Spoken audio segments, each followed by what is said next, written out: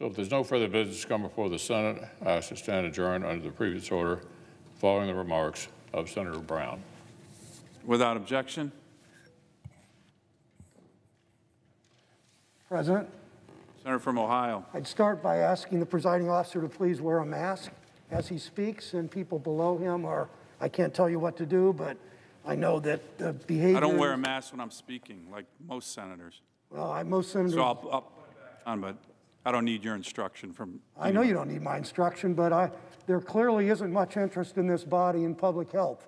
We have a president who hasn't shown up at the coronavirus task force meeting in months. We have a majority leader that calls us back here to vote on an unqualified nominee and, and at the same time to vote for judge after judge after judge, exposing all the people who can't say anything, I understand, the people in front of you and the presiding officer, and expose all the staff here, and the, the majority leader just doesn't seem to care.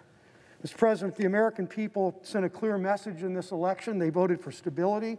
They rejected an administration that has failed them in the middle of a public health crisis and an economic crisis. People want a government that works for them and is on their side.